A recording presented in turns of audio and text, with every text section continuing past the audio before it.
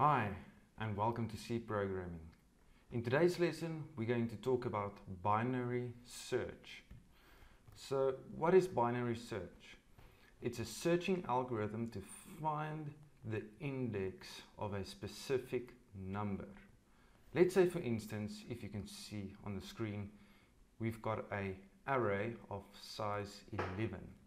So remember it's size 11 because we start at index 0 and then we move to index 10. And if you count these, it's 0 to 10, it's 11 values. So we've got indexes from 0 to 10. And we are searching for a specific number in this array. And we want the index of that specific number.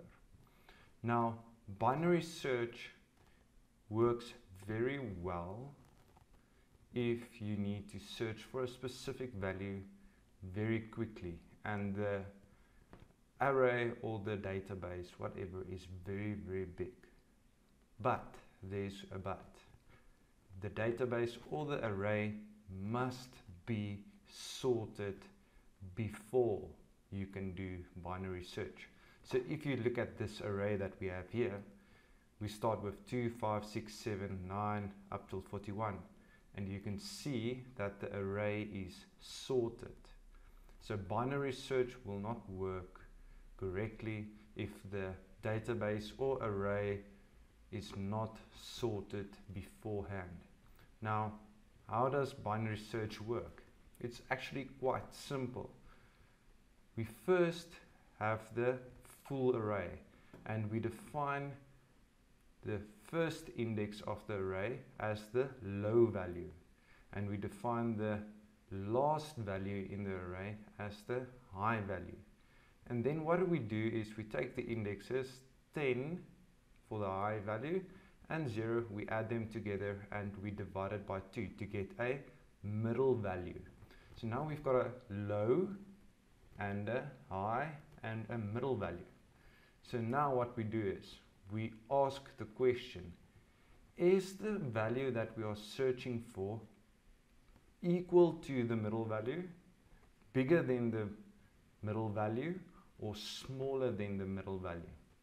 Now, if we answer that question, if it's bigger than the middle value, if the value we are searching for is bigger than the value that's stored in the middle index, then we move up the low value to the middle and we find a new middle. So let's quickly visualize this.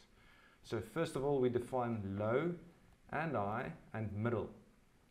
So we've got low at index 0, high at index 10. And we are searching for the key 13. So 13 is located here. So in a normal case with linear search, we would have started at this one. We compare, compare, compare until we find number 13. But binary search works a little bit different.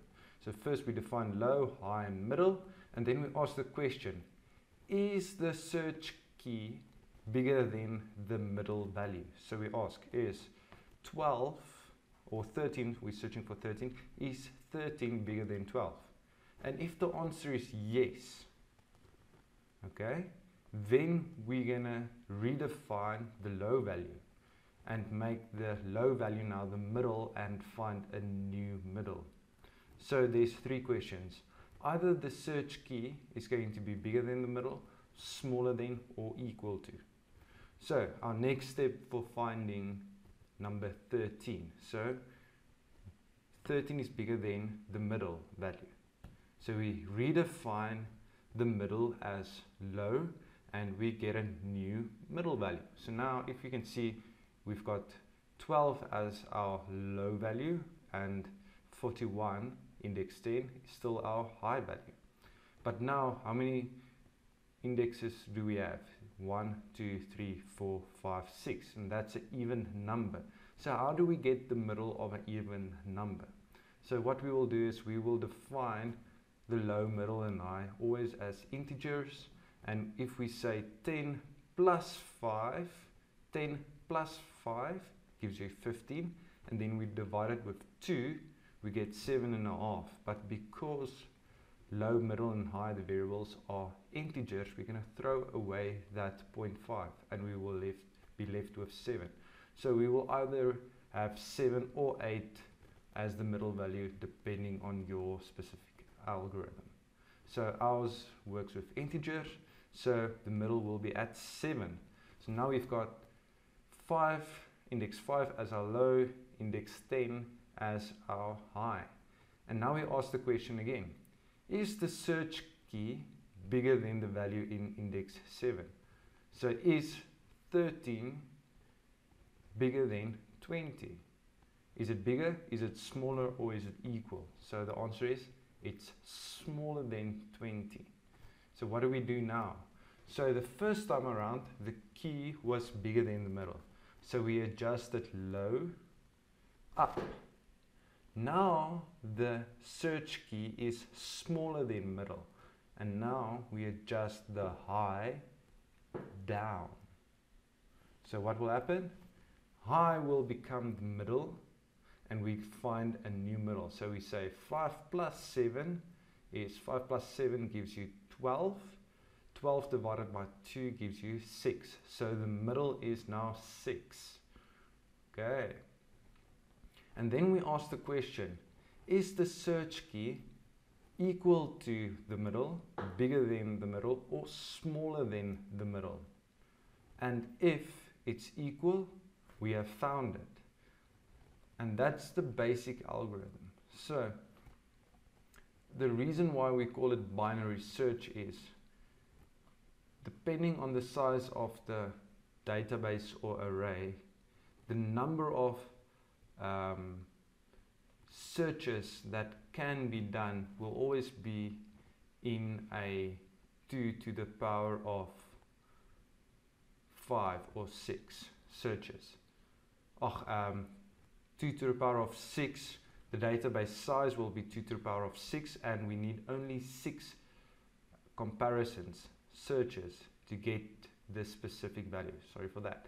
So if the database is 2 to the power of 10, okay, and that's a little bit more than a thousand, 2 to the power of 10, the database is very big, but we only need 10 comparisons to find that specific search key in the database or the array because what we do is we actually half the full database every time we say if it's bigger equal or smaller than middle and we adjust high or low we effectively half the database every time to make it smaller and smaller and smaller and effectively um, decreasing the amount of comparisons needed to find the search key.